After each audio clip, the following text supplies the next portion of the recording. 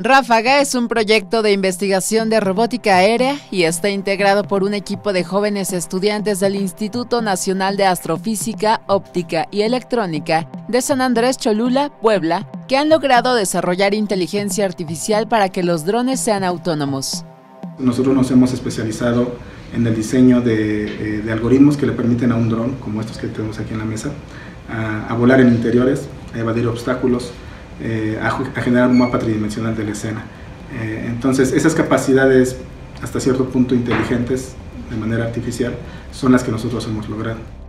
El proyecto duró dos años, de marzo de 2015 a febrero de 2017, y fue financiado por el Fondo Newton, que pertenece a la Royal Society Newton Advanced Fellowship de Reino Unido. En ese periodo, los estudiantes lograron el desarrollo de drones que toman decisiones y no dependen de un sistema de posicionamiento global.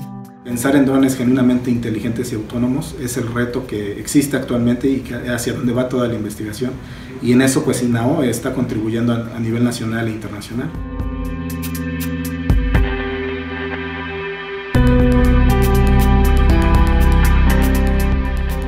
Nosotros vamos a concursar en el IMAP de 2017 que va a celebrarse en Francia, en Toulouse, en septiembre. Entonces eh, nos estamos preparando para concursar. Eh, eso es a largo, a largo plazo. En corto plazo vamos a también participar en el Torneo Mexicano de Robótica, donde ya hay una categoría de drones eh, que se abre por primera vez. Y también vamos a concursar ahí para ver qué tal nos va.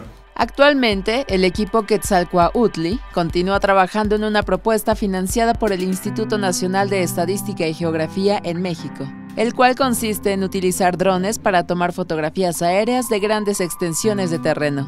Las aplicaciones civiles que hay en realidad son más de las que nos podemos imaginar. El único limitante que tenemos es eh, pues nuestra imaginación.